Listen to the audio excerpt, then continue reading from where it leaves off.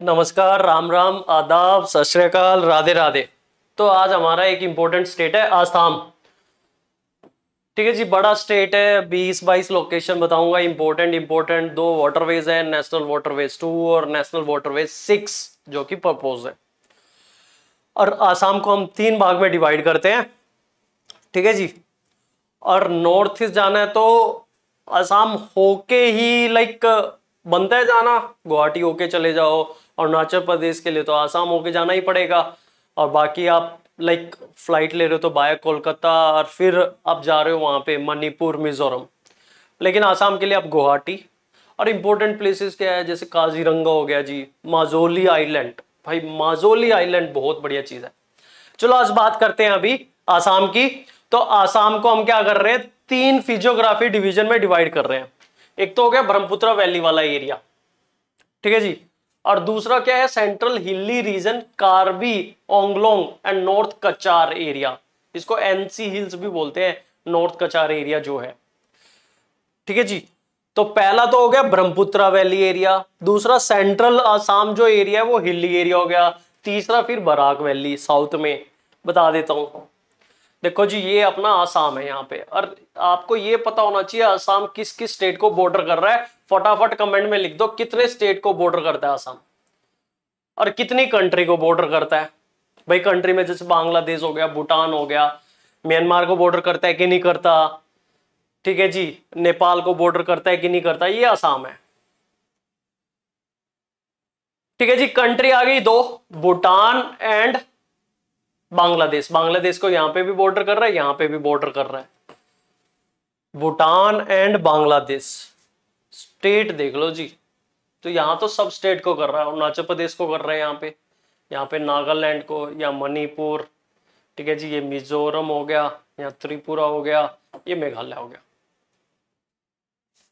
तो ये अरुणाचल प्रदेश, नागालैंड, मणिपुर, मिजोरम, त्रिपुरा, मेघालय, सबके साथ बाउंड्री है आसाम की। आप फटाफट कमेंट में लिख दो इंडिया का कौन सा स्टेट है जो मैक्सिमम मतलब ज़्यादा ज़्यादा दूसरे स्टेट को बॉर्डर करता है? अच्छा अब मैंने बात की है कि आसाम हम तीन भाग में डिवाइड कर रहे हैं। तीन भाग क्या है? एक तो ये ब्रह्मपुत्र वैली वाला एरिया हो गया। ब्रह्मपुत्र वैली इसको आसाम वैली भी बोलते हैं। दूसरा एरिया जो हो गया अपना, लाल कलर से या इससे, इस कलर से बताता हूँ। यहाँ पे। Karbi and NC hills north Cachar hills area ठीक है, बताऊँगा कार्बी के बारे में। एनसी हिल्स सब चीज़ देखेंगे हम। फिर तीसरा जो डिवीज़न है, तीसरी डिवीज़न है यहाँ पे बराक वैली फिर यहाँ पे बराक वैली हो जाती है। तो ये पूरा आसाम हम तीन भाग में डिवाइड कर रहे हैं, एक ब्रह्मपुत्र वैली सेंटर में हो गया कार्बी एनसी हिल एरिया और तीसरा ये हो गया बराक वैली वाला एरिया। ठीक है जी? अब आता है सबसे पहले इंपॉर्टेंट चीज़ है काजीरंगा, नेशनल पार्क। काफ़ी बार न्यूज़ में सुना होगा, फ्लड के टाइम में वन हॉर्न राइनोसिरस मिलते हैं यहाँ पे। ठीक है जी? ये one horn rhinoceros two third of the planet population of one horn rhinoceros पूरी दुनिया में, पूरे अर्थ के ऊपर जितने वन हॉर्न राइनोसिरस है, उसका टू थर्ड सिर्फ़ काजीरंगा में मिलता है। तो काजीरंगा क्या है? It is home to two third of the planet population of one horn rhinoceros और क्या करना? गुवाहाटी से गाड़ी उठाना और जाना Kaziranga by road by God मज़ा आ जाएगा अगर आपने ये बाई रोड ट्रिप कर लिया तो। ठीक है जी? तो क्या है national park is also a world heritage site and a major highlights on the Assam tourist places map yes बिल्कुल जी। बाकी और भी है यहाँ पे elephant swamp deer wild buffalo Chinese pangolin Bengal fox gibbon civet sloth bear leopard flying squirrel तो ये सब मिलता है यहाँ पे। तो व्हाट इज़ इंपॉर्टेंट वन हुड राइनोसिरस काजीरंगा अच्छा आसाम में ना दो बायोस्फीयर रिज़र्व है। एग्ज़ाम पॉइंट ऑफ़ व्यू बता देता हूँ। तो हम कई बार कंफ्यूज कर जाते हैं, काजीरंगा बायोस्फीयर रिज़र्व नहीं। बायोस्फीयर रिज़र्व दो हैं। एम डी के नाम से मैंने याद किया, एक मानस, एक दिब्रू सेकोवा। तो दो बायोस्फीयर रिज़र्व हैं जो कि आसाम में, मानस एंड दिब्रू सेकोवा। काजीरंगा बहुत ही पॉपुलर नेशनल पार्क है बट काजीरंगा जो है, वो बायोस्फीयर रिज़र्व नहीं है। ठीक है जी? अब नेक्स्ट आता है हमारा मानस नेशनल पार्क, बोल लो या मानस बायोस्फीयर रिज़र्व बोल लो। और ये क्या है कि जी मानस एक रिवर है, मानस, जो कि भूटान से होके आती है, मानस रिवर और ब्रह्मपुत्र में आके मिल जाती है। तो भूटान में जो है रॉयल मानस नेशनल पार्क है। और अपना आसाम में जो हो गया मानस नेशनल पार्क बोल लो या Manas biosphere reserve. Manas national park जो है वो बायोस्फीयर रिज़र्व का पार्ट है। बायोस्फीयर रिज़र्व बड़ा एरिया होता है। ठीक है? Which is a UNESCO natural world heritage site UNESCO की हेरिटेज साइट भी है ये. प्रोजेक्ट टाइगर रिज़र्व भी है. एलिफेंट रिज़र्व भी है. Biosphere reserve all in one the best tourist place in one of the best कहूँगा. बाकी भी तो हैं जी. तो मानस बायसो रिज़र्व ये भी अपना एक टूरिस्ट प्लेस बन जाता है जाने के लिए. काजीरंगा, मानस। और आसाम को हमने किया तीन भाग में डिवाइड एक ब्रह्मपुत्रा वैली वाला एरिया एक सेंट्रल हाईलैंड बोल लो या प्लेट्यू रीजन जहाँ कार्बी हो गया आपका, और नॉर्थ कचार हिल्स वो वाला एरिया हो गया, और साउथ में होगी बराक वैली ठीक है जी साउथ में। साउथ मतलब त्रिपुरा, मिजोरम, मणिपुर के साथ बॉर्डर करता हुआ वो एरिया जहाँ से बराक रिवर निकल रही है। ठीक है जी अच्छा जी, गुवाहाटी में जो है कामाख्या टेंपल ज़रूर जाना आपने। इतनी पॉजिटिव वाइब्स आती हैं। गजब। मतलब आप क्या करोगे? गुवाहाटी से थोड़ा सा बाहर थोड़ा सा हिली एरिया के ऊपर है। वो हिल का नाम क्या है जी? नीलाचल हिल्स पूछ ले where is this Nilachal hills तो जो ये कामाख्या टेंपल है, वो नीलाचल हिल्स के ऊपर है। It is one of the fifty one Shakti Peeth in India भाई साहब, क्या पॉजिटिव वाइब्स आती हैं वहाँ पे जाके। कैरीज ए माइथ methodology है to protect devotee from evil eyes. It's one of the most popular and the famous tourist place in Assam for pilgrims and the out tourist alike owing to its amazing. यहाँ पे ना तांत्रिक विद्या वगैरह कुछ सुनने में आता है कि थोड़ा सा तांत्रिक adoration located at of Nilachal hills तो ये हो गया जी कामाख्या टेंपल जो कि आपका पड़ता है गुवाहाटी ठीक है जी गुवाहाटी गए और कामाख्या टेंपल नहीं गए मतलब आपने बहुत कुछ मिस कर दिया। फिर जो कि दुनिया भर के साइंटिस्ट भी आते हैं जोग्राफर भी आते हैं टूरिस्ट भी आते हैं देखने के लिए वर्ल्ड लार्जेस्ट जैसे हम पढ़ते हैं ना, भाई, ये दुनिया का ये बहुत बड़ा वाटरफॉल नियागरा वाटरफॉल मन करता है, भाई नियागरा वाटरफॉल जाना है। इसी तरह बाकी दुनिया के लोगों को मतलब बाकी देशों के लोगों को भी मन करता है माजोली आइलैंड देखने का, क्योंकि ये world largest riverine island largest riverine island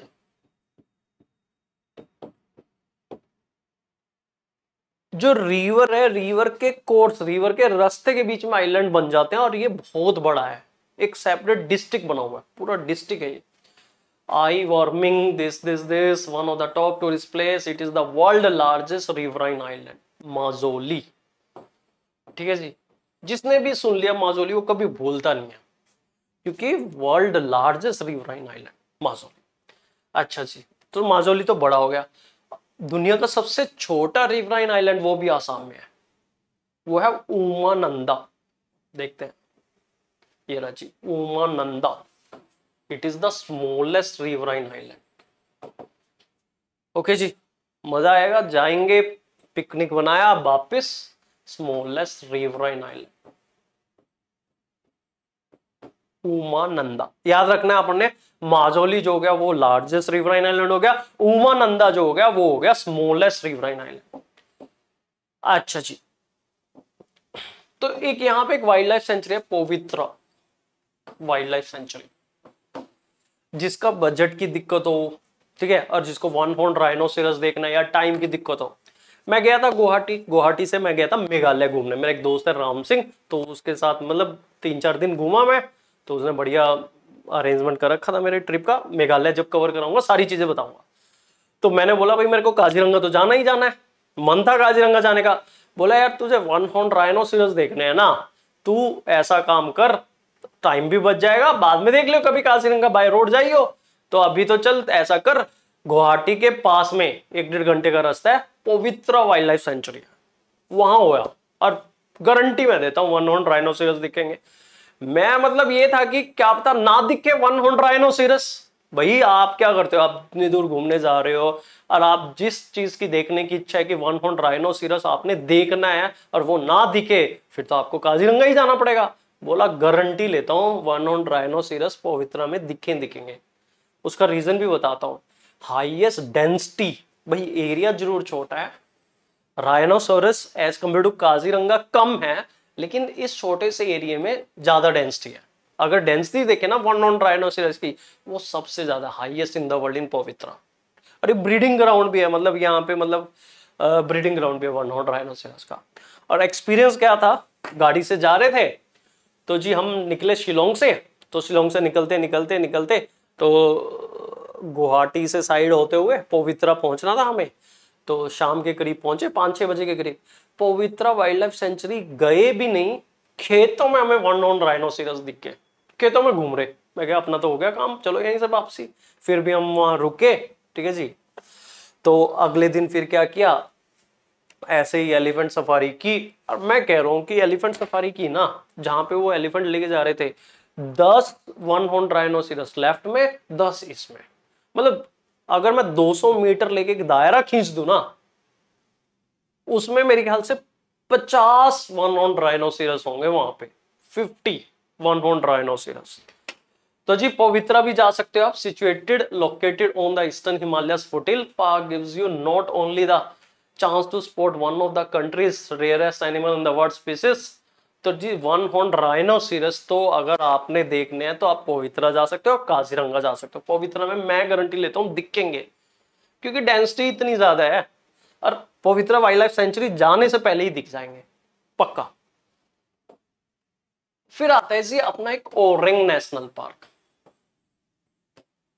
इसको मिनी काजीरंगा भी बोला जाता है।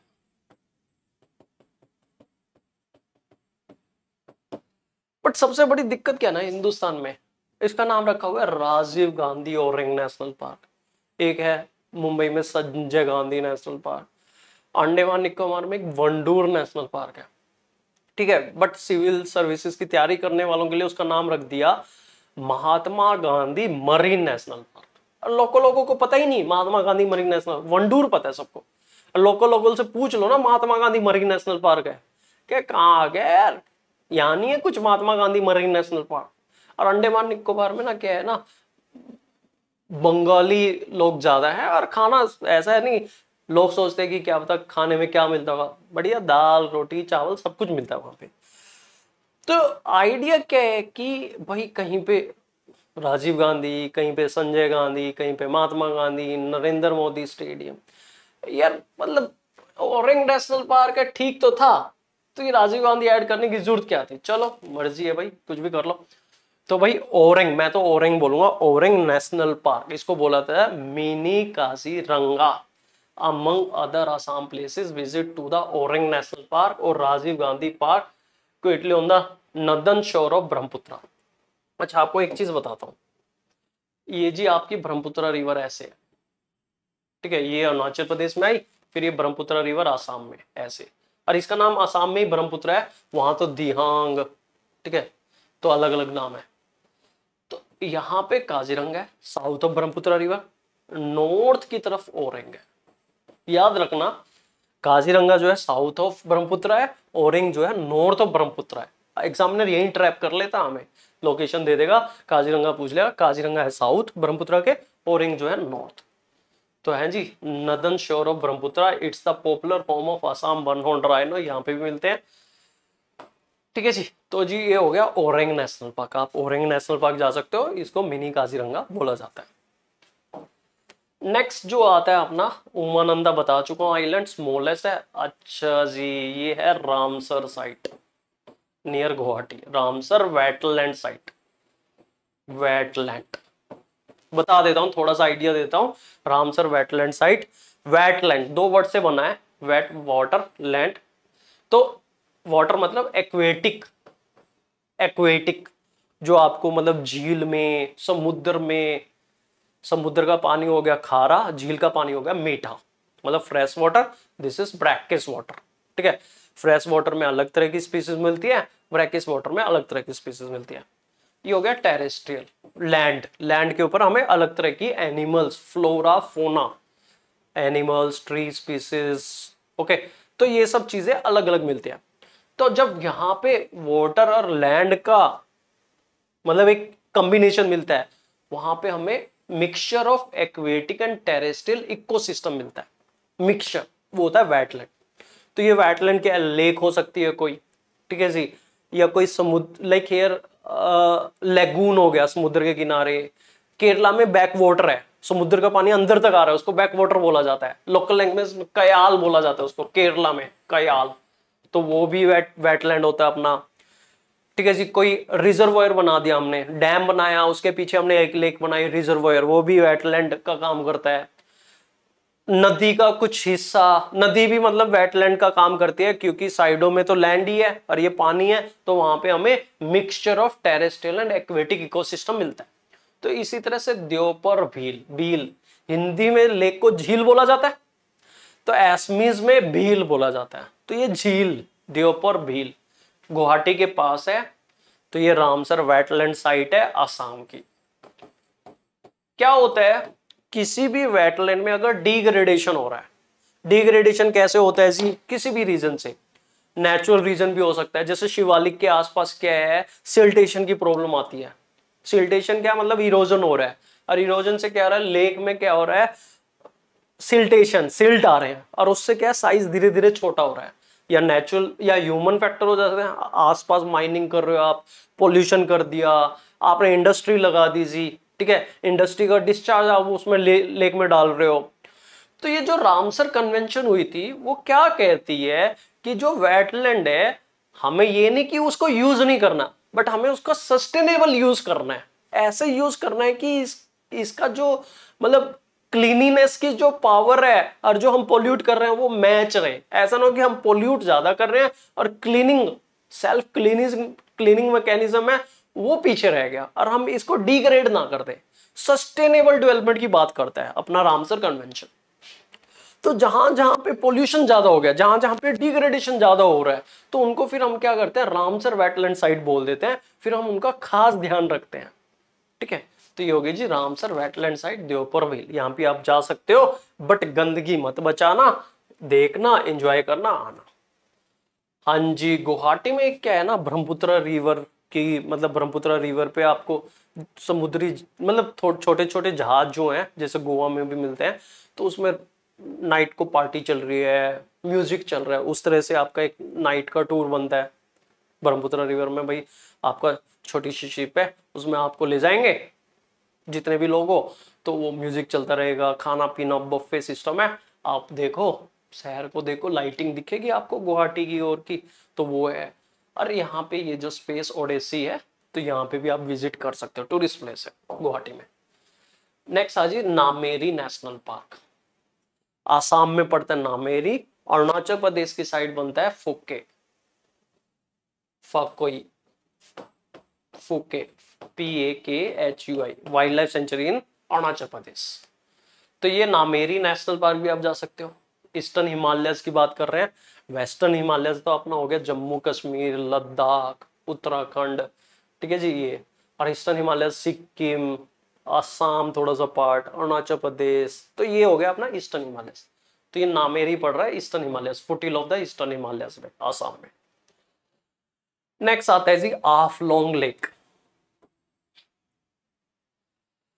ओके जी तो ये आफलोंग जो है आपका उस तरफ़ सेंट्रल आसाम वाले हिस्से में पड़ता है, Haflong lake is most beautiful tourist place in Assam तो आप यहाँ पे भी जा सकते हो। तो आपने क्या करना है, जो एक नदन पार्ट जो ब्रह्मपुत्रा वैली वाला एरिया तीन चार दिन तो यहाँ लगाने हैं। दो एक दिन सेंट्रल आसाम में, एक दो दिन सदर्न आसाम में। और फिर वहीं आसपास से आप मतलब एक आधा स्टेट और घूम सकते हो, और फिर दिल्ली वापस आ जाना, या चंडीगढ़, जहाँ से भी हो आप, मुंबई से, कोलकाता से तो आप वापिस आ सकते हो। आफलोंग लेक, क्योंकि ये वाला हिस्सा है ना जो ये वाला कार्बी वाला। ये लोग कम विज़िट करते हैं बट नेचुरल ब्यूटी है, मज़ा आएगा देखने में। यहीं पे क्या है कि ये मेघालय हो गया। मेघालय प्लेट्यू गारो, खासी जैंतिया जो शिलोंग है, वो खासील में है। और ये हिमालय का पार्ट नहीं, ये है पीपीआर का पार्ट पेनिसुला प्लेट्यू रीजन का। और यहाँ पे हिमालय है हमारा, ठीक है? नागा हिल भी हिमालयस का पार्ट है, ये हिमालयस बैंड आ गए यहाँ पे, मणिपुर, मिजोरम। तो यहाँ पे जो कार भी है ना it is extension of PPR मतलब ये लास्ट पार्ट है पीपीआर का, उसके बाद हिमालय स्टार्ट है। इसको कह सकते हो, ये ना मेगा इसको पीपीआर और हिमालय को सेपरेट करती है यहाँ पे NC hills north Cachar hills बेहतरीन टूरिस्ट प्लेस है नॉर्थ कचार हिल्स यहाँ पे। तो वो क्या कर रही है, वो पीपीआर पेंसुला प्लेट्यू रीजन और हिमालय को सेपरेट कर रही है। ठीक है जी, हम देखते हैं अब Karbi Anglong plateau is an extension of Indian peninsular plateau जो पीपीआर की बात की थी in the Assam north eastern state of India the area receive maximum rainfall from the south west summer monsoon जब मानसून की बात करेंगे, बताएँगे दो तरह के मानसून है साउथ वेस्ट मानसून है एक नॉर्थ ईस्ट मानसून है। एक तो अभी जून में स्टार्ट होता है, जून, जुलाई, अगस्त, सितंबर तक थोड़ी बारिश होता है। एक बाद में फिर अक्टूबर, नवंबर, दिसंबर में। ठीक है जी? काफ़ी लोगों को पता नहीं, तमिलनाडु में, चेन्नई में, दिसंबर में फ्लड आ जाता है कई बार। तो उसका रीजन क्या है? नॉर्थ ईस्ट मानसून एक नॉर्थ ईस्ट मानसून भी है हमारे यहाँ फ्रॉम जून थ्रू सेप्टेम्बर तो ये हो गया जी कार्बी एंग्लोंग ये सेंट्रल असम वाला पार्ट हो गया। ब्रह्मपुत्रा वैली कार्बी एंग्लोंग नीचे बनती है हमारी बराक वैली एक बायोस्फीयर रिज़र्व बोल चुका हूँ Dibru Saikhowa national park biosphere reserve है Tinsukia district biosphere reserve in July 1997 with an area of 765 kilometre square ठीक है जी?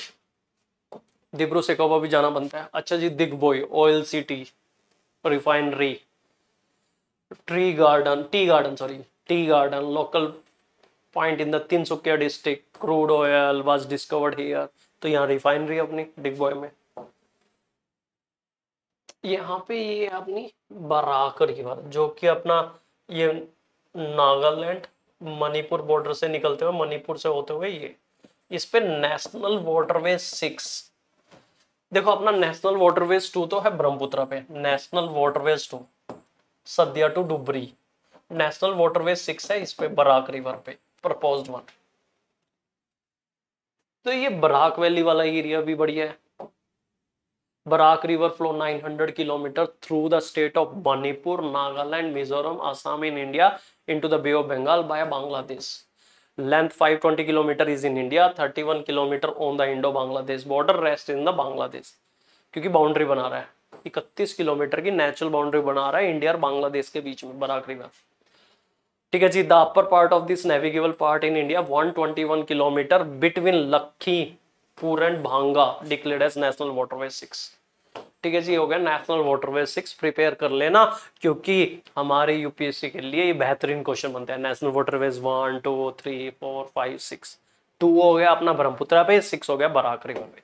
तो आसाम में क्या दो नेशनल वाटरवेज हो गए एक नेशनल वाटरवेज टू और एक हो गया जी हमारा नेशनल वाटरवेज सिक्स ठीक है जी?